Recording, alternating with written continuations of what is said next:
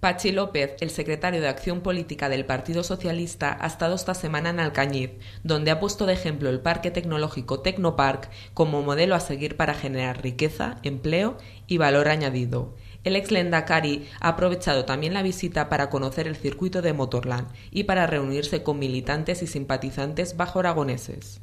López ha apostado por que España defina nuevos sectores estratégicos. Todo ello, ha dicho, para crear una economía que genere empleo de calidad y procure recursos al sector público para sostener los derechos sociales. Tecnopar, que, yo creo que es eh, una imagen de cómo debiéramos estar actuando en este país, ¿no? cómo crear riqueza y crear empleo en base a, a tecnología, a valor añadido, a investigar, a innovar y a desarrollar nuevos productos que sean competitivos en el mercado. El ex Lendakari también ha apostado por poner la economía al servicio de la sociedad, así como por recuperar los servicios públicos que, en su opinión, se han perdido en los últimos años. Asimismo, también ha destacado que su partido ha renovado el 80% de sus listas, combinando experiencia con ideas nuevas.